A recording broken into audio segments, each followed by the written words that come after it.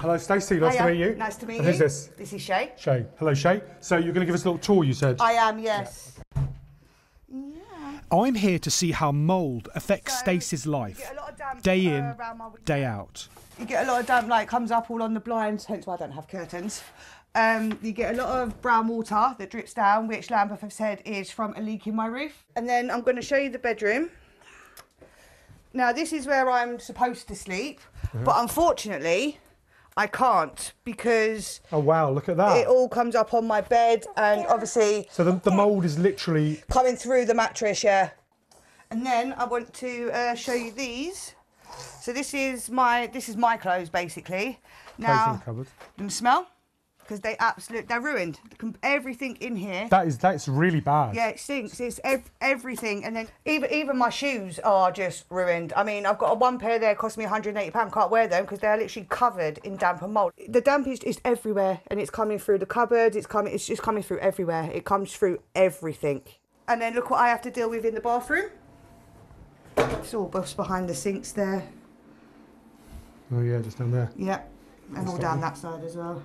And Guy, I wanted to show you this in here because you mhm. might wonder why all of my food is out. This would be why, because all my cupboards are covered in damp and mould. So the food goes rotten and it goes mouldy. And I can't take that risk because obviously I've got a small baby. And worse, it may even be affecting her health. She's got a lung condition called COPD, the symptoms of which doctors have told her are being worsened by having to live with mould like this. Horrendous, disheartening, scared, fear, death. Why? Uh, my dad died. I've got COPD. Um, my dad died of that, and I'm scared I'm going to go the same way. And I don't want to leave my kids. I'm petrified that this house is going to kill me. I was asked to come here um, by the tenant because of how bad the damp and mould. Unfortunately, Stacey's not alone. New figures seen exclusively by BBC London reveal the scale of the problem. Complaints to the Housing Ombudsman about mould, a type of fungus that grows in damp environments, sometimes causing health problems, have nearly tripled in the capital since 2021. The problem is that it often takes ages to sort mould out and can be expensive. Residents like Antonio, who was living in a flat that looked like this, is fighting now with his local housing association to get it sorted out. Meanwhile, he's couch surfing with serious physical disabilities. I pretty much just stay downstairs. This is pretty much where I eat, eat, sleep, everything. I've faced many um, obstacles in my life, and uh, to be honest with you, I mean, I was born uh, with a situation that caused me to have the disabilities that I have, uh, fingers, legs, etc.